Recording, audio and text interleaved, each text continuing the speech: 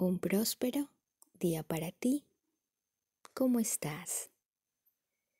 Soy Natalie Sanz, facilitadora, terapeuta y coordinadora de Herramientas para el Éxito, una organización de desarrollo y transformación personal y empresarial desde el ser. Hoy continuamos con la lectura y reflexión del libro Piense y hágase rico, del autor Napoleón Hill. La riqueza y la realización personal al alcance de todos. Vamos a leer desde la página 148 a la 160.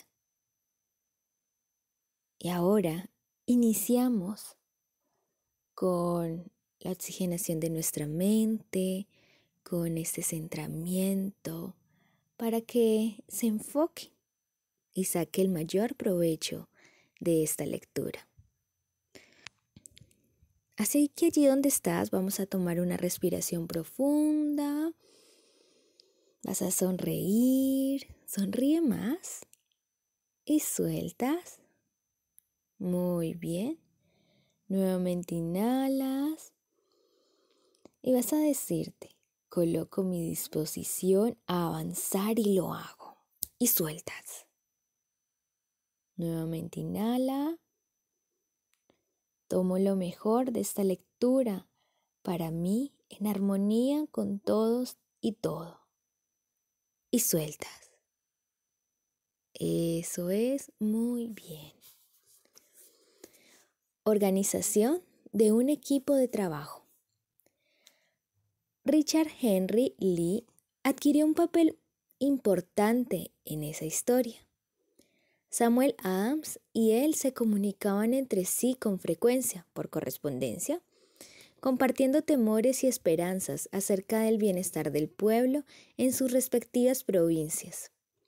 A raíz de esta práctica, Adams concibió la idea de que un intercambio mutuo de cartas entre las 13 colonias podría ayudar a conseguir la coordinación de esfuerzo que tanto necesitaban en cuanto a la solución de sus problemas.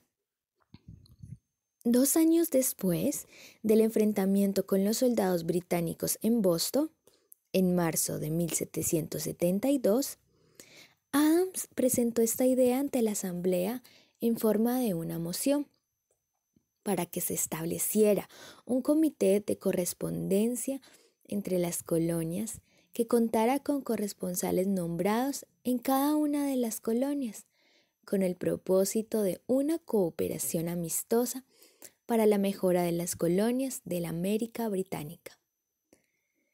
Eso constituyó el principio de la organización de un poder mucho más amplio destinado a conseguir la libertad, para todos los colonos y sus descendientes.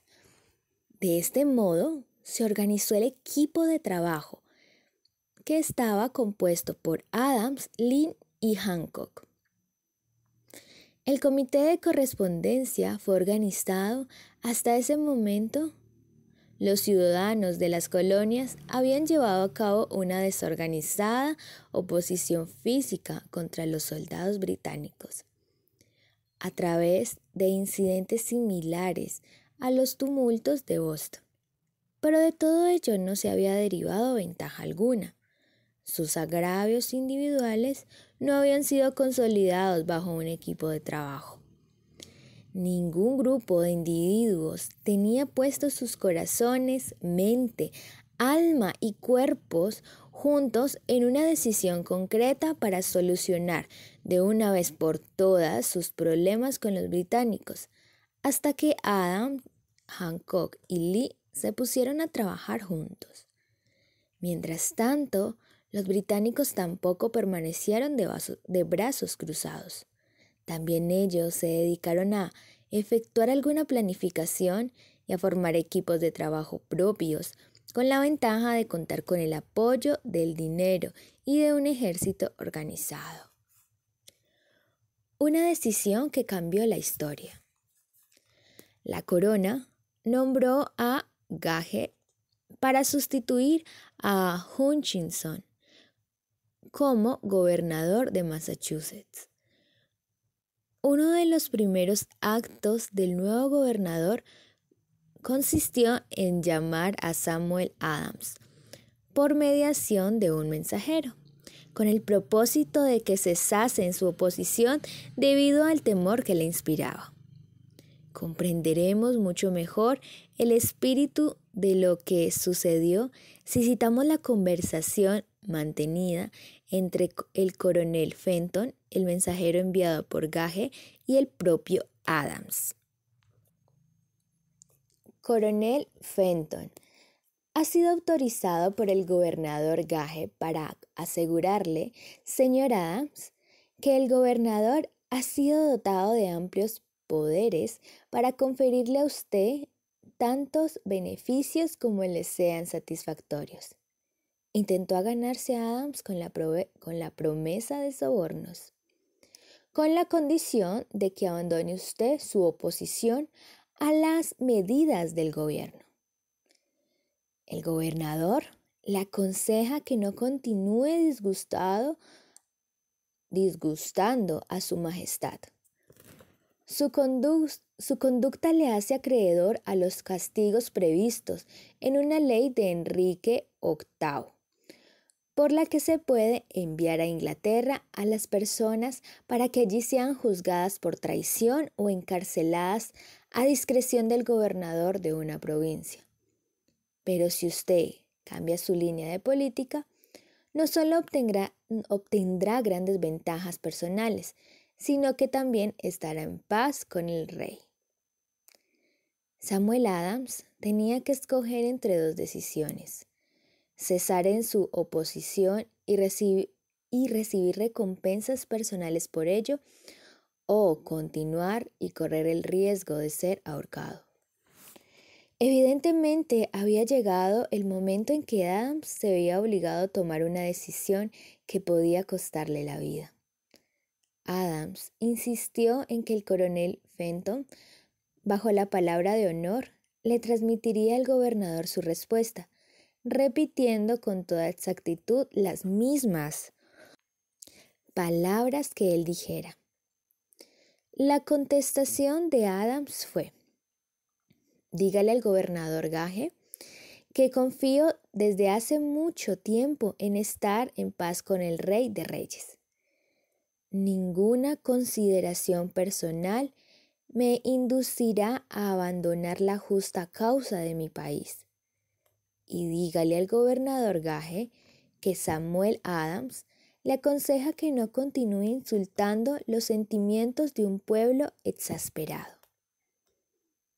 Cuando el gobernador Gage recibió la cáustica respuesta de Adams, montó en cólera y mulgó una proclama en la que se decía, el abajo firmante, en nombre de su Majestad, ofrece y promete su más gracioso perdón a todas aquellas personas que a partir de ahora abandonen las armas y regresen a los deberes propios de súbditos pacíficos.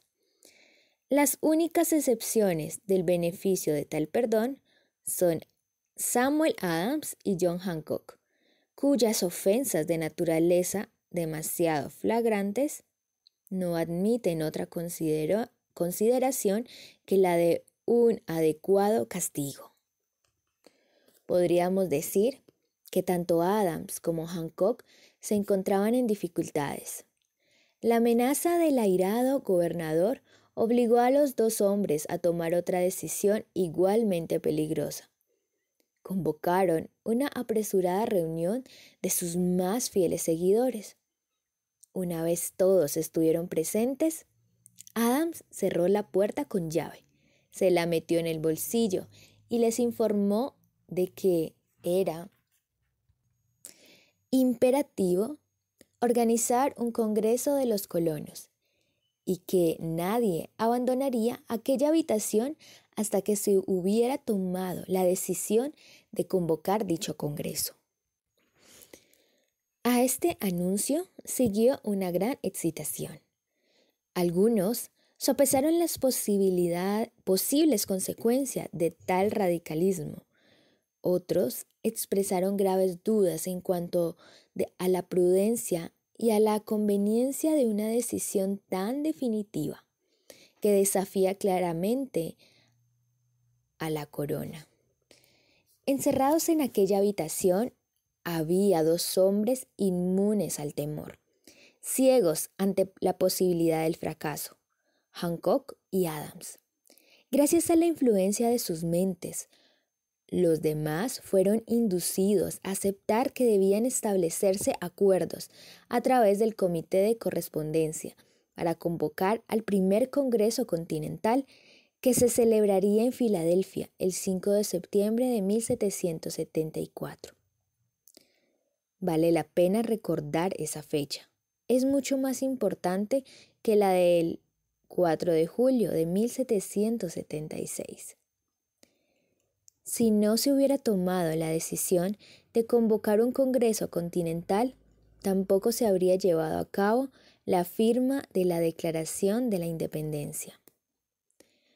Antes de que la primera reunión del nuevo Congreso se celebrara, otro líder que se encontraba en otra parte del país se hallaba profundamente enfrascado en la tarea de publicar el texto Visión sucinta de los derechos de la América Británica. Se, se, trataba de Thomas Jefferson, de la provincia de Virginia, cuyas relaciones con Lord Dumont, representante de la corona en Virginia, eran tan tensas como las de Hancock y Adams con su gobernador. Poco después de que se publicara este texto, Jefferson fue informado de que había una orden de perseguirlo por alta traición contra el gobierno de su Majestad. Inspirado por la amenaza, uno de los colegas de Jefferson, Patrick Henry, expresó con claridad lo que pensaba y concluyó sus observaciones con una frase que se ha hecho clásica desde entonces. Si esto es traición, que sea la mayor de todas. Fueron hombres como estos los que sin poder, sin autoridad, sin ejército y sin dinero, tomaron asiento en una solemne consideración del destino de las colonias, dando inicio así a la apertura del primer Congreso Continental, que continuaron celebrando cada año hasta que el 7 de junio de 1776, Richard Henry Lee se levantó, se dirigió a la presidencia y, ante el asombro de la asamblea, presentó la siguiente moción. Caballeros, presento la moción de que estas colonias unidas son y deben ser por derecho estados libres e independientes, absueltos de toda alianza con la corona británica y que toda conexión política entre ellos y el país del Reino Unido está disuelta y así debe quedar.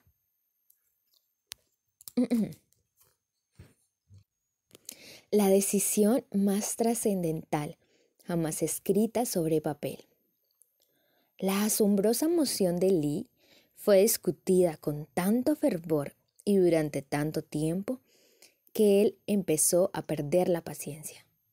Finalmente, después de días de discusión, volvió a ocupar el estrado de oradores y declaró con una voz clara y firme, Señor presidente,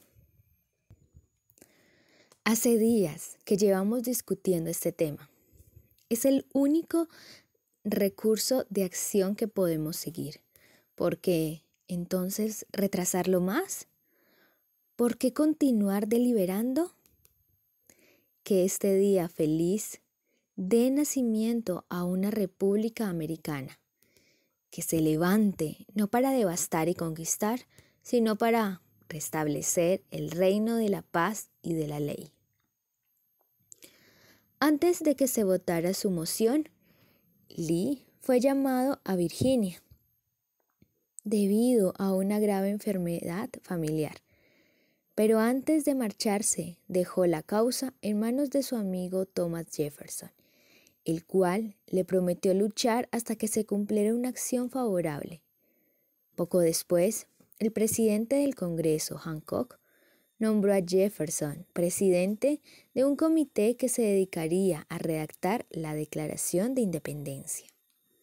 El comité trabajó mucho y muy duramente en la redacción de un documento que cuando fuera aceptado por el Congreso y firmado por cada uno de los congresistas, significaría una condena de muerte para todos los firmantes en el caso de que las colonias perdieran en la lucha que sin lugar a dudas estallaría entre ellas y el Reino Unido.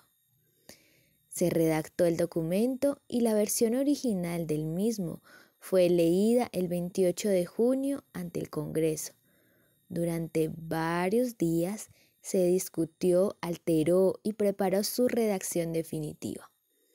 El 4 de julio de 1776, Thomas Jefferson se levantó ante la asamblea y sin el menor temor en la voz leyó la decisión más trascendental escrita sobre papel.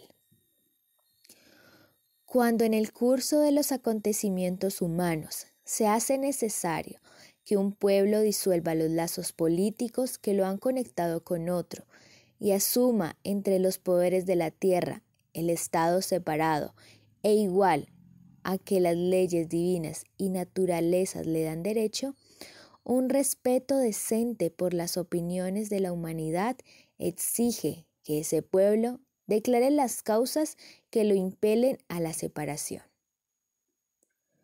Cuando Jefferson hubo terminado de leer, se votó la aprobación del, del documento que fue aceptado y después de los 56 hombres presentes lo firmaron. Cada uno de ellos ponía en juego su propia vida con la decisión de estampar su firma en aquel papel. Gracias a esa decisión, una nación surgió a la existencia. Una nación destinada a aportar para siempre a la humanidad el privilegio de tomar sus propias decisiones. Al analizar los acontecimientos que produjeron de la a la Declaración de Independencia, podemos estar convencidos de que esta nación, que ahora ostenta una posición de respeto y poder entre todos los demás países del mundo, fue el fruto de la decisión de un equipo de trabajo compuesto por 56 hombres. Observe bien el hecho de que su decisión fue lo que aseguró el éxito a los ejércitos de Washington, porque el espíritu de esa decisión estaba en el corazón de cada uno de los soldados que lucharon con él y sirvió como un poder espiritual que no reconoce lo que es el fracaso. Observe también, y para mayor beneficio personal, que el poder que dio la libertad a esta nación es el mismo poder que todo individuo ha tenido que utilizar para alcanzar su autodeterminación. Este poder está hecho a partir de los principios descritos en este libro. No resulta difícil detectar en la historia de la Declaración de Independencia al menos seis de esos principios. Deseos, decisión, fe, perseverancia, equipo de trabajo y planificación organizada. Sepa lo que quiere y en general lo conseguirá.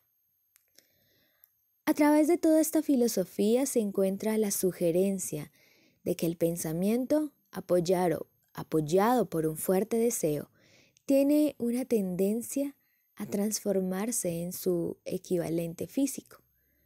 Tanto en esta historia como en la de la organización de la United States Steel Corporation, hallamos una descripción perfecta del método mediante el cual el pensamiento produce esta asombrosa transformación.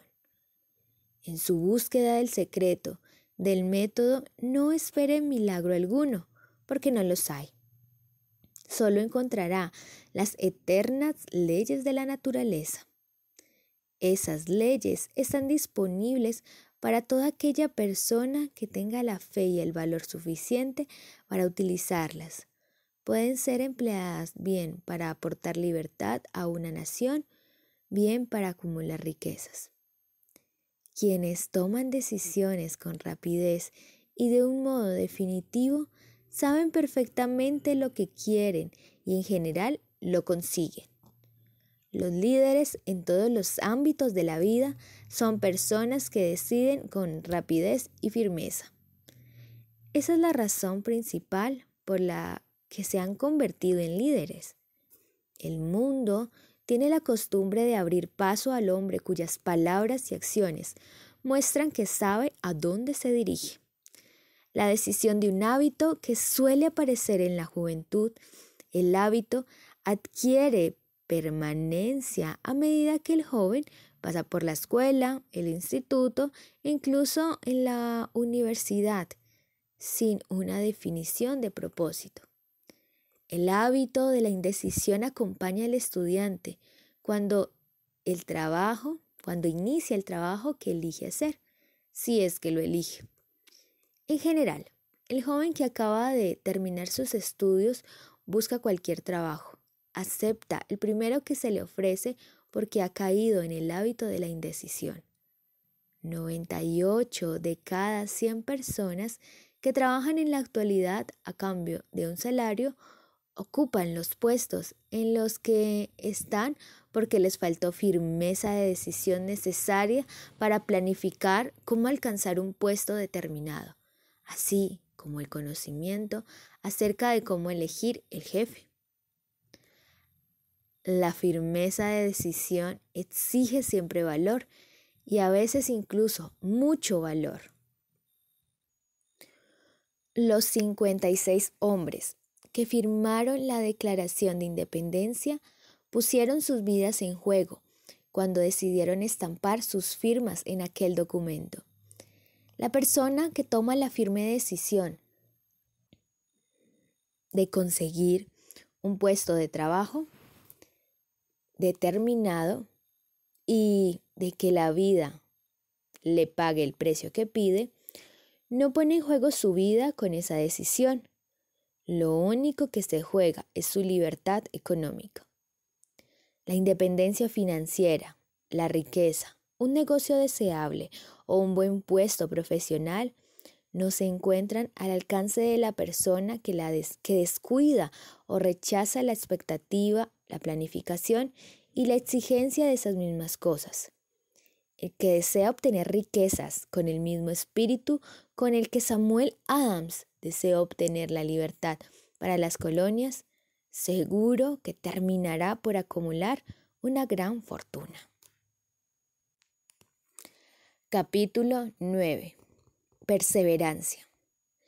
El esfuerzo sostenido necesario para mover la fe. El octavo paso hacia la riqueza. La perseverancia es un factor esencial para el procedimiento de transformar el deseo en su equivalente monetario.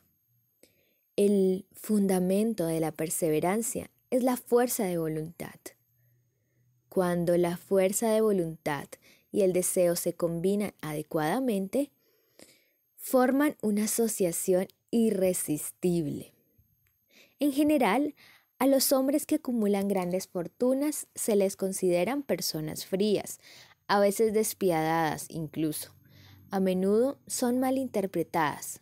Lo que tienen es fuerza de voluntad que ellos combinan con la perseverancia, utilizando ambas cosas para apoyar sus deseos y asegurarse así el logro de sus objetivos. La gran mayoría de la gente está preparada para echar por la borda sus objetivos y propósitos, abandonándolos a la primera señal de oposición o desventura. Unos pocos continúan, a pesar de todas las oposiciones, hasta que los alcanzan. Es posible que no exista ninguna connotación heroica en el concepto de perseverancia, pero esa cualidad es para el carácter de un hombre lo que el carbón para el acero. En general, La formación de una gran fortuna implica la puesta en práctica de los 13 factores de esta filosofía. Todos aquellos que acumulan dinero tienen que comprender estos principios. Deben aplicarlos con perseverancia. Su test de perseverancia. Si usted está siguiendo lo que se dice en este libro, con la intención de aplicar los conocimientos que comunica, su primera prueba en cuanto a su nivel de perseverancia se la encontrará cuando empiece a seguir seis pasos descritos en el segundo capítulo. A menos que usted sea una de las dos personas de cada 100 que ya poseen un objetivo marcado que se esfuerza por alcanzar, así como un plan definido para conseguirlo, puede leer las instrucciones y continuar después con su rutina diaria sin llegar a cumplir nunca esas instrucciones. La falta de perseverancia es una de las grandes causas del fracaso. Es más, la experiencia con miles de personas ha demostrado que la falta de perseverancia es una debilidad común a la mayoría de las personas. Se trata de una debilidad que puede superarse mediante el esfuerzo. La facilidad con que se venza la falta de perseverancia dependerá por completo de la intensidad del deseo de cada cual. El punto de partida de todo logro es el deseo. Téngalo cuenta, en cuenta constantemente. Unos deseos débiles llevan consigo unos resultados débiles. Del mismo modo que un fuego pequeño produce un poco calor, muy poco calor. Si le parece que le falta perseverancia, remédielo, construyendo en su interior un fuego mucho más intenso por debajo de sus deseos. Continúe leyendo hasta el final y luego vuelva al capítulo 2 y empiece de inmediato a llevar a cabo las instrucciones que allí se dan en relación con los seis pasos. La avidez con, lo, con la que siga esas instrucciones indicarán con claridad lo mucho o poco que desea acumular dinero. Si descubre que siente indiferencia ante ello, le aseguro que no ha adquirido todavía la conciencia del dinero y que debe poseer antes de poder estar seguro de acumular una fortuna. Recuerda que también esta conciencia de dinero o esta parte de fortalecer y mejorar tu área financiera. También cuando hay estas, estos obstáculos, esta falta de perseverancia, es porque no hay una alineación en todos los niveles en tu mente subconsciente. Y es importante allí trabajar para programar esto, para cambiar esta información y esas conexiones que hay en tu mente relacionadas con el dinero. Las fortunas gravitan hacia los hombres cuyas mentes han sido preparadas para atraerlas con la misma seguridad con que el agua gravita al océano, hacia el océano. Si llega a la conclusión de que su perseverancia es débil, centre su atención en las instrucciones contenidas en el capítulo sobre el poder. Rodéese de un equipo de trabajo y podrá desarrollar la perseverancia a través de los esfuerzos cooperativos de los miembros de ese grupo de personas. Encontrará más instrucciones para el aumento de la perseverancia en los capítulos sobre la autosugestión y la mente subconsciente. Sigan las instrucciones perfiladas en esos capítulos hasta que la naturaleza del hábito transmita en su mente subconsciente una imagen clara del objeto de su deseo. A partir de ese punto ya no se verá obstaculizado por la falta de perseverancia. Su mente subconsciente actúa continuamente, tanto si usted está despierto como si duerme. ¿Tiende usted a la conciencia del dinero o a la conciencia de la pobreza? No les serán de ningún valor los esfuerzos espasmódicos u ocasionales para aplicar las reglas. Si desea obtener resultados, tiene que aplicar todas las reglas hasta que esa aplicación se haya convertido en un hábito fijo. De ninguna otra forma podrá desarrollar la necesaria conciencia del dinero. La pobreza es atraída hacia la persona cuya mente es favorable a ella, mientras que el dinero es atraído hacia la que se ha preparado deliberadamente para atraerlo. Y después, y según las mismas leyes. La conciencia de la pobreza se apodera de la mente que no se ocupe de la conciencia del dinero.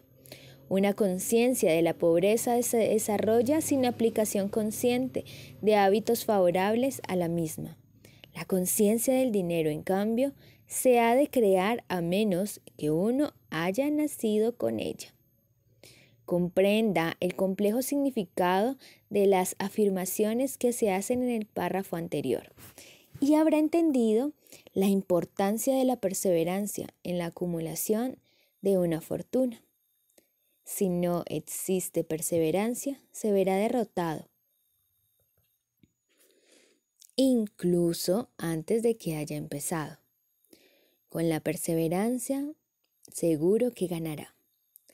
Si alguna vez ha experimentado una pesadilla, se dará cuenta del valor de la perseverancia. Se encuentra usted en la cama, medio despierto, con la sensación de estar a punto de ahogarse. No se siente capaz de volverse de lado ni de mover un solo músculo. Se da cuenta de que tiene que recuperar el control de su cuerpo. A través de un esfuerzo perseverante de fuerza de voluntad, se las arregla al fin para mover los dedos de una mano, mientras continúa con el movimiento de los dedos. Extiende su control a los músculos de un brazo hasta que puede levantarlo. Luego, de la misma manera, consigue el control del otro brazo. A continuación, logra controlar los músculos de una pierna y luego de la otra. Por último, y con un supremo esfuerzo de voluntad, recupera el control completo de su sistema muscular y entonces logra escapar de su pesadilla. El truco se ha efectuado paso a paso.